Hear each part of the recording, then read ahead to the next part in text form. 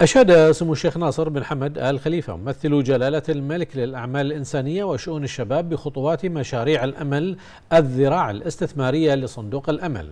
جمع مبلغ مليون ونصف المليون دينار بحريني زيادة لرأس المال بالاشتراك مع ثلاثين مستثمر من القطاع الخاص. سموه أكد أهمية تكامل الأدوار بين مشاريع الأمل والقطاع الخاص في سبيل طرح وتبني العديد من المبادرات النوعية المستقبلية والمشاريع الخلاقة في سبيل خلق وتطوير بيئة استثمارية داعمة ومحفزة لرواد الأعمال الشباب في المملكة. وهو الأمر الذي يتوافق مع توجيهات جلالة ملك البلاد المعظم ورؤية الحكومة برئاسة سمو ولي العهد رئيس مجلس الوزراء ورؤية البحرين 2030 جاء ذلك خلال الفعالية التي أقيمت تحت رعاية سمو الشيخ ناصر بن حمد في بورصة البحرين للإعلان عن زيادة رأس المال لمشاريع الأمل بالتعاون مع القطاع الخاص والتي حضرها عدد من المسؤولين.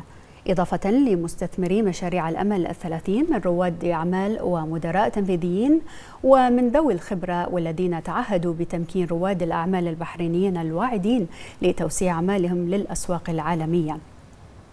وأشاد سمو بالاستثمار المشترك للقطاع الخاص في مشاريع الأمل واشتراك أهداف الجانبين في دعم الشباب البحريني عبر عالم ريادة الأعمال باعتبارهم ركيزة للوطن ومستقبل مملكة البحرين.